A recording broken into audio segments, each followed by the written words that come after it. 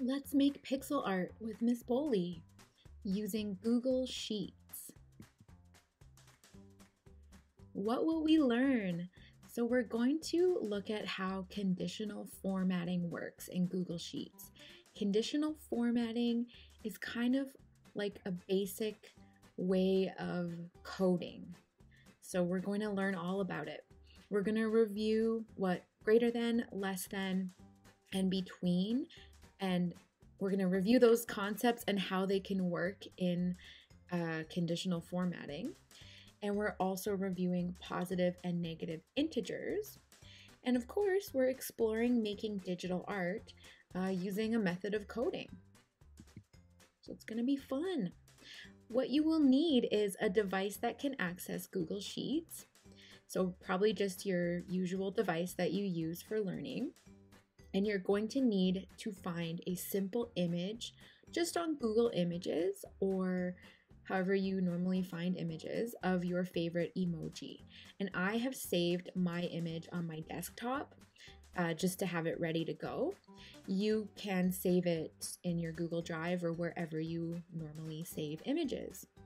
So, those are the two things you'll need. So, how do I get into Google Sheets? So first of all, when you go and open a browser tab or a browser window, you're going to see in the top right hand side, you're going to see that little waffle.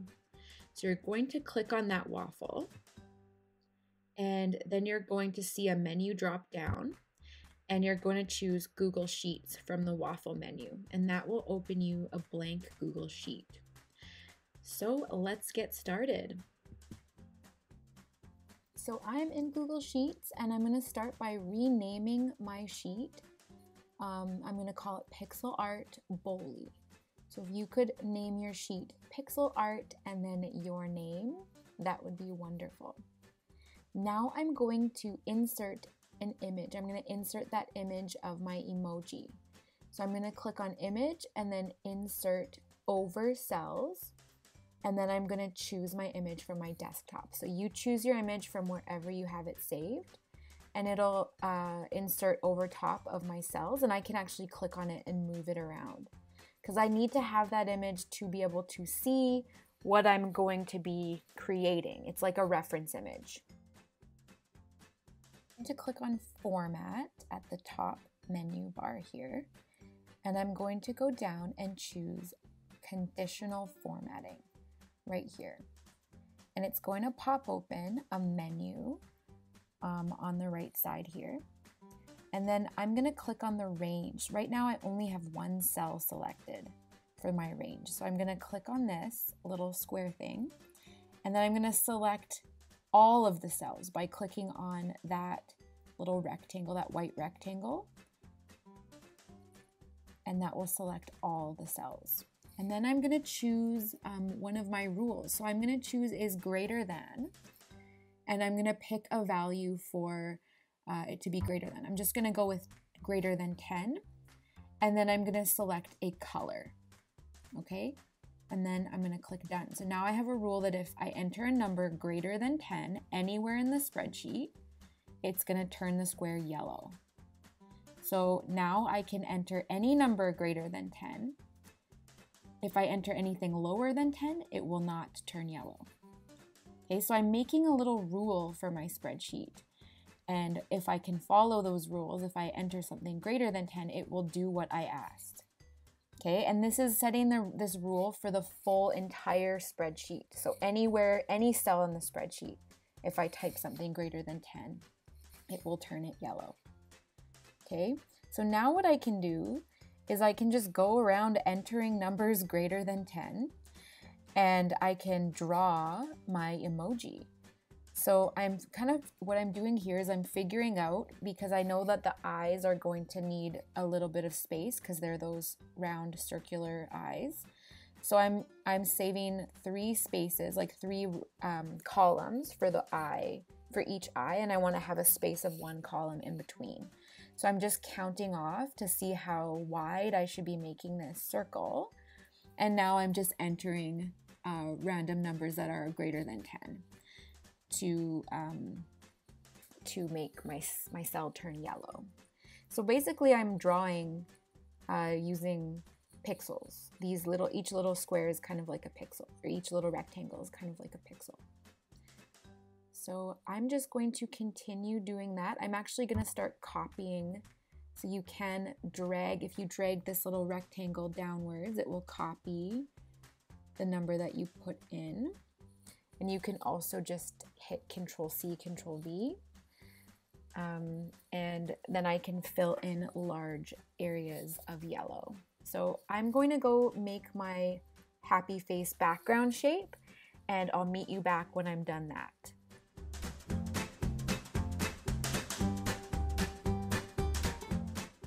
Okay, so now I have my yellow happy face shape. I'm ready to start another rule. So I click add another rule and then I want to again select the whole sheet. So for the range. So I want to click on that little box to open up.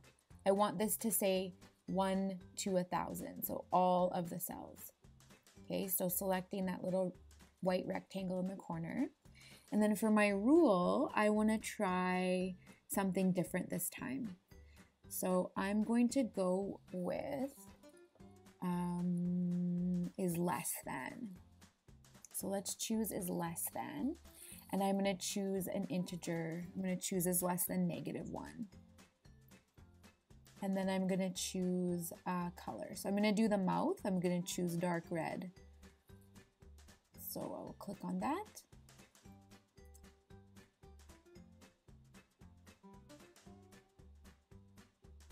And then I will click done and that will make my rule. So I, anything that's less than negative one, I can type in on top of the cells, the yellow cells, and it will change the rule. Like it'll change the, the color.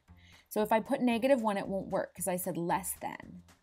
So I've got to put negative two or something lower than negative two. If I put negative one, if I put zero, those aren't going to work. Okay.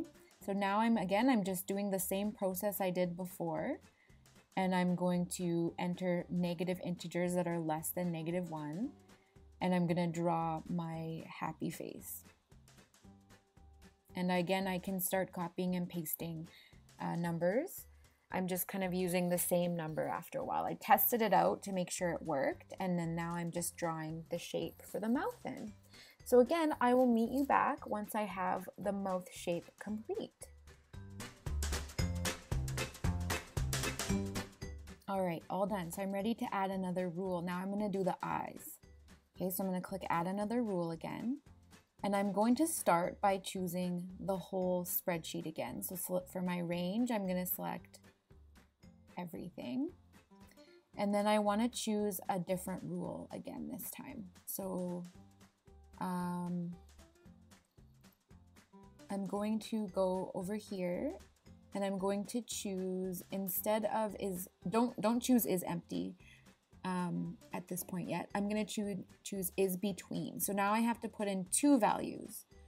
So I'm going to just experiment here. This is actually where things got a bit interesting. So I'm going to do is between negative 8 and negative 10. And I'm going to choose a dark brown or black type color. So let's choose my, how about that one? Perfect, okay. Oops, don't think it worked. Select it one more time. Okay, it's just not showing up there. So I'll click done. And now I'm gonna test it out. So I'm gonna enter in a number and see if it works. So again, I'm going to place the eyes so that it's symmetrical. So negative 10 turned it red. So it's not it's not going to work if it's negative 10. It's got to be between negative 8 and negative 10. So negative 9 is the only number that will work. So let's enter and see what happens. So because I have that previous rule, it's not working for me for my um, my, my third rule. So I'm going to have to adjust the ranges. I can't do the full spreadsheet for this. So I'm just going to select range. And then instead of the full sheet like I have um, before, I'm going to select just this mouth area. So I clicked on the mouth area and then I dragged it till I have a full shape. And so that's going to be, um, it's going to apply the rule only to the mouth area. And then there we go. Now that I've clicked out of there, I it's working, but I'm still gonna select actually for this one, the full, um, the top part of the face where the eyes would be. So just right up there instead of the full spreadsheet. So this wouldn't work if I tried to do like an outline around the happy face. Um, it, it only will work in the range that I selected, so the rectangle that I selected. So now I can type in negative 9 here and it's going to turn it black. So actually will work. So you're going to have to experiment. If you create rules that um, kind of contradict each other, then you will have to uh, change the range of your rules. Okay, so you're going to have to play around with it. Um, it does require a little bit uh, of um, testing out. Coding is always like that, where you you make you make the code and then you see if it works, and then you need to adjust it if it doesn't work. So there we go. I've got the eyes all done. And now you only need to include three colors. So I now have my three colors, but I am going to add two more colors because I do want to do the crying tears and I'm also going to do the teeth as well. So as before, I click on create new rule. I click on the range and I'm going to set the range again just for the top half of the emoji. Click on um, okay. And then I'm gonna just go with is equal to for this one. So I can just select um, just an integer. It could be a negative or positive integer. And I can just like just that one. It's not a range. It's not um, greater than or less than. It's just gonna be is equal to. And then I'm gonna select a random number. I think I'm gonna do negative 14. So negative 14 is going to be my blue tears. So I'm going to select blue for the color. And then I'll click done. And then every, every place that I type in negative 14 in the top part, the top half of the um, rectangle that I selected is going to turn it blue. Okay, so we'll meet you back when I'm all done the tears and then I'm going to do the white teeth.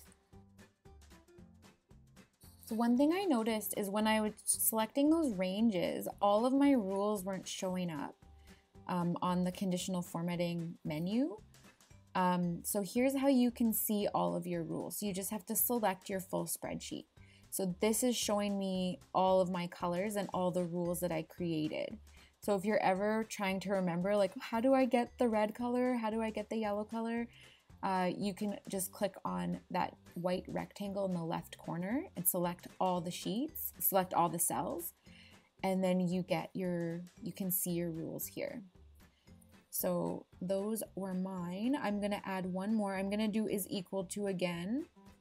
And this time I'm gonna select just the full spreadsheet. And I'm going to click is equal to and then I'll select a random integer just like I did with the blue tears. So there we go. And then I'm going to select 8. And then anytime I type that number in, it's going to turn the cell white. So, and I did a number that's much higher than any of the other numbers that I had typed in, um, just because I wanted to stay away from um, having to make any changes to my previous rules. So there we go. Now I'm going to show you how to get rid of the numbers. I kind of like the numbers there. It kind of looks cool. Um, but if you don't want to have your numbers showing up, I will show you how to get rid of them. Okay, so what you're going to do is you're going to open up the rule and you're going to change the font color. So see that little A change the font color to the same color as the fill color. Okay, so I'll do it again. So I'll click on the yellow rule, open up the font color, and I have to pick the exact same yellow that I used. So sometimes we don't pick the right one, whoops, and then you can just go back and edit until you do get the right one. You can do this while you're working, but um, one of the downsides of that is that then you it's harder to remember for me at least. It was harder for me to remember like what numbers i should be entering. And so that's why i like to see the numbers when i'm working. But you can always do this process while you're working. So i'm just going to go and select the same color of text for the fill for each of my colors that i that i used. So i'll meet you back when i'm done that all right, so now I'm gonna show you how you can make a background color using conditional formatting. So I'm gonna choose, an, I'm gonna click add new rule. Again, I'm gonna select the full spreadsheet range. And then I'm going to choose is empty. So any place that I haven't entered any numbers is going to uh, turn a color. So now I can choose my background color. I don't really like that one. Um, so I'm just gonna try a couple different ones and see which one I like. Um, I don't really like that one. Um, so I'm gonna continue choosing. There we go, I like that one. And then there we go. So I have my background. I've done more colors than needed. You only need to do three, but there's no maximum. So go ahead and try it out. If you want a challenge, you can go um, and do a few more additional colors. So what does my pixel art need? Your art needs to have at least three colors. More is fine, but you need to have at least three. You want to have a conditional formatting rule that includes at least one of the following. So greater than, less than, between, which I showed all three of those in the video. You only need to include one of those. You can also use the condition of is equal to, uh, which I find to be easier than these other ones here. Um, but you need to have at least one of the challenging ones. And you must include some negative integers and some positive integers as well. And I wanted to show my conditional formatting rules um, just so you can see them. Thanks so much for watching. I cannot wait to see your emoji art.